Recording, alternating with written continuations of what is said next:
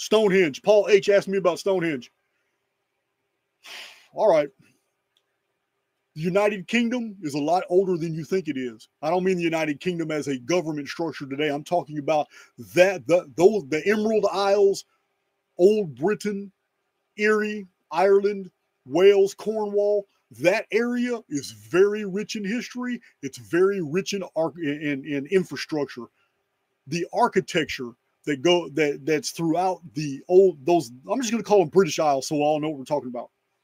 The British Isles if you could see what the British Isles looked like 300 years BC, you would see you would see stone roads going in all different directions to elaborate megalithic dolmens and circle ring complexes all over, all over.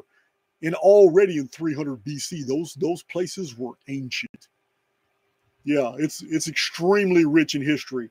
The historical records that we have about the Parthenon, the, the Parthian period or Parthenon and all these old cultures they don't even scratch the surface. The histories we have in the irish book of invasions for that period of the world uh, uh i mean we even have, we have references to the books of, of i think it's pridian pridian prilith ancient books that were known to be have their composition was before the flood now we have so many traditions the area is absolutely rich in traditions going back thousands of years because the area has always been populated.